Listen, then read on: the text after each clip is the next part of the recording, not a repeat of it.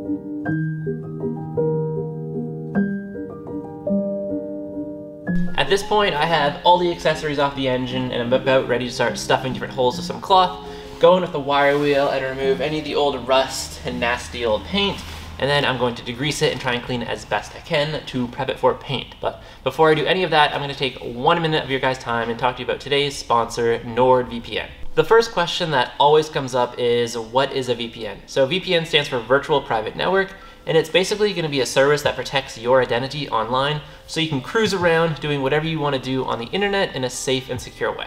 My personal favorite use for NordVPN is the ability to change where my IP address is coming from when I'm using streaming platforms like Netflix.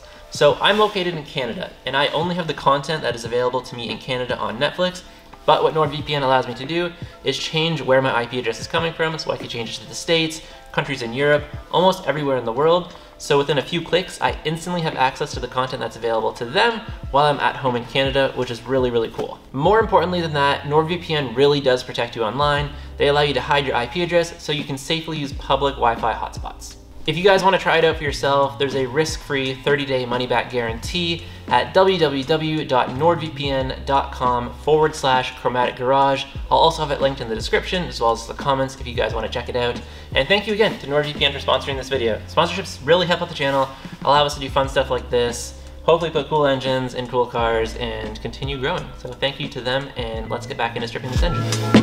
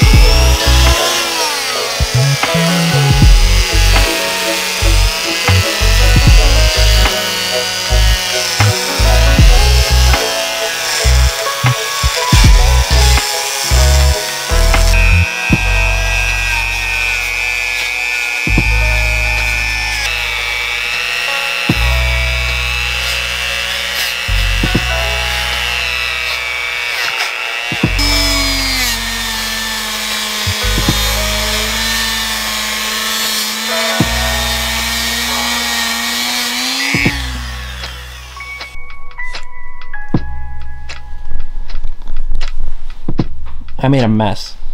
A big one, and it really doesn't help that it's on a white floor, but that's okay. It doesn't matter because the engine is looking a lot better and I think it's ready for paint now.